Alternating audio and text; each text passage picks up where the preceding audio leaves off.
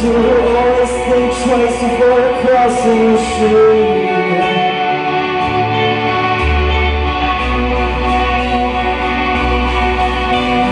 She says the time to get a corporate